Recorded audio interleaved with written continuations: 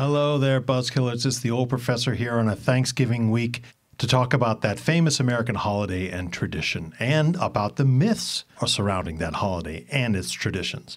And I want to start, believe it or not, in 1849 with a woman named Sarah Josepha Buell Hale. By 1849, she was an enormously successful teacher, writer, and editor in Boston. She wrote dramatic novels and magazine articles and edited various important journals, especially the Ladies Magazine, for almost all of her adult life.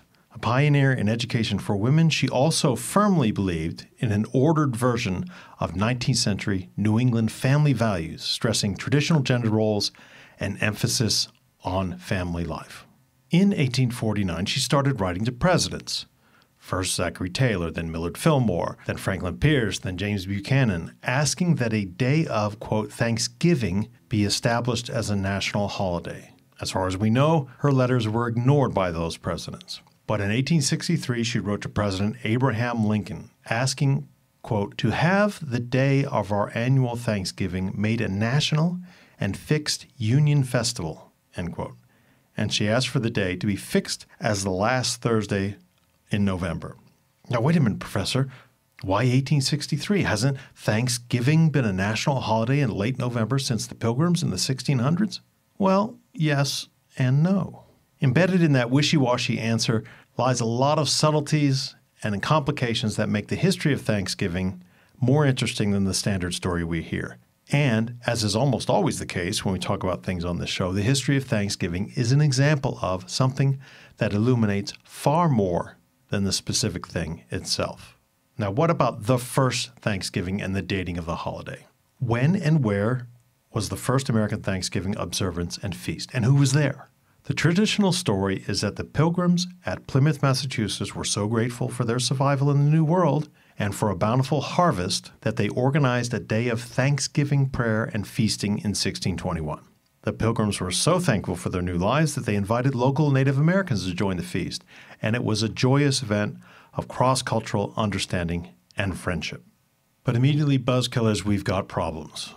Not only does the Plymouth story rest on shaky evidential grounds, plenty of other places in colonial North America have claims to the first Thanksgiving observance. These include St. Augustine, Florida, in 1565, San Elizario, Texas, in 1598, and the Berkeley Plantation on the James River in both 1607 and 1690, depending on who you talk to. Quote, days of Thanksgiving, end quote, however, had been observed in Europe for centuries before this. Sometimes, usually when an important and unexpected good event happened, clerics would announce a day of Thanksgiving where extra masses were held and Thanksgiving prayers were said, literally, quote, giving thanks, end quote, for surviving a terrible storm winning a war, or something of that magnitude. So the idea of Thanksgiving observances is a very old one. And I'm pretty certain similar traditions and Thanksgivings were held in other places around the world since way back. Now, but since the story of the Pilgrims at Plymouth is the dominant one and the one that Americans think they've based their traditions on, let's go with that one for the time being. No mere one day feast, the Pilgrims partied for three days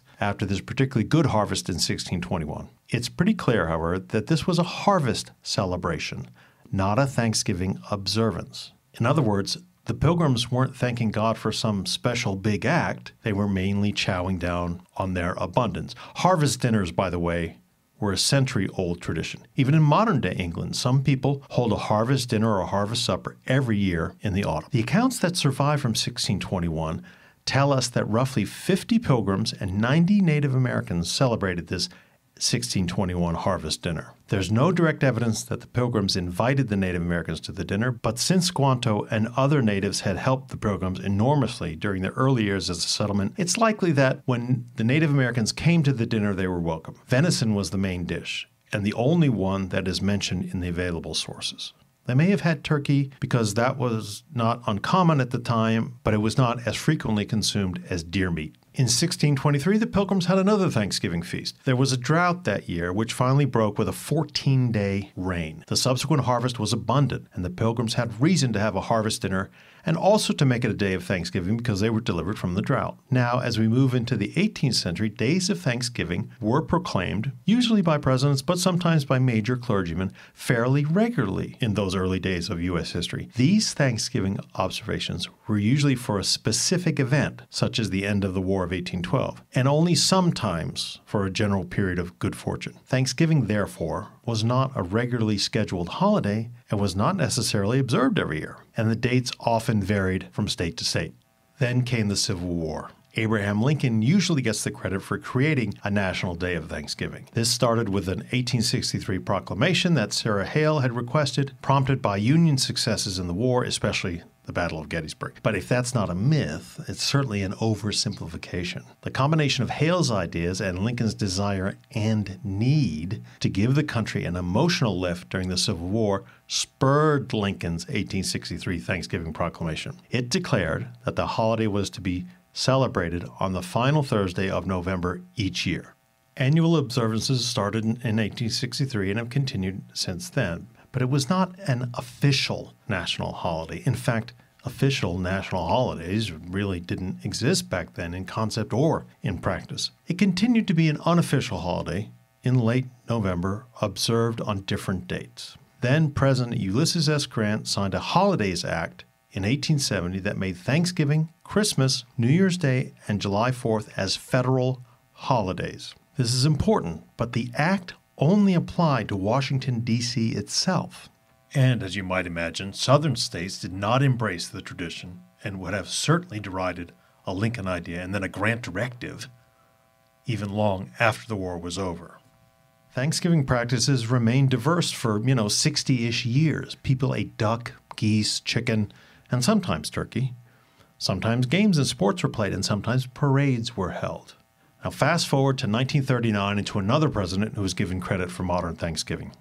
In 1939, with the Depression still raging, President Roosevelt decreed that Thanksgiving was to be observed on the next to last Thursday of November each year. He did this to jumpstart the Christmas shopping season and boost holiday sales. Thanksgiving by this time had marked the start of the Christmas shopping season for most people. There was considerable opposition to this, however, from some Republicans who thought it was wrong to mess with the tradition that Lincoln, one of their party's founders, had established.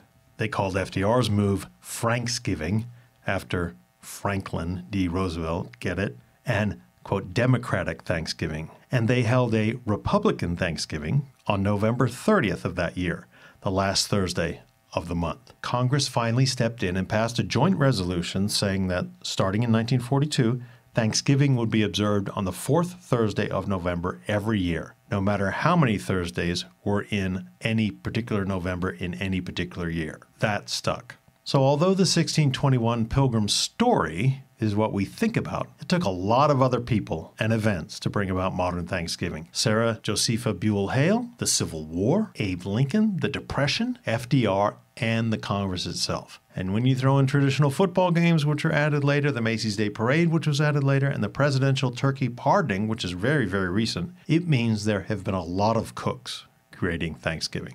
I hope you enjoy Thanksgiving. The thing I look forward to every Thanksgiving is sitting at the kids' table. Fewer political fights, and more food fights. Talk to you next week.